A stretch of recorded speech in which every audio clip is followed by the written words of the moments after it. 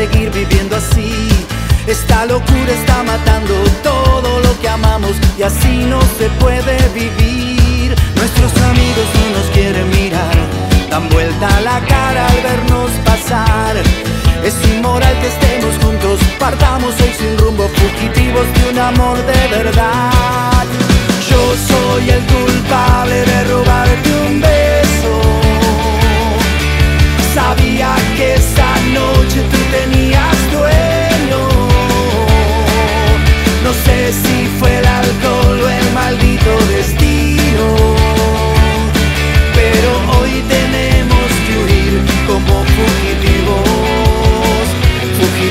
said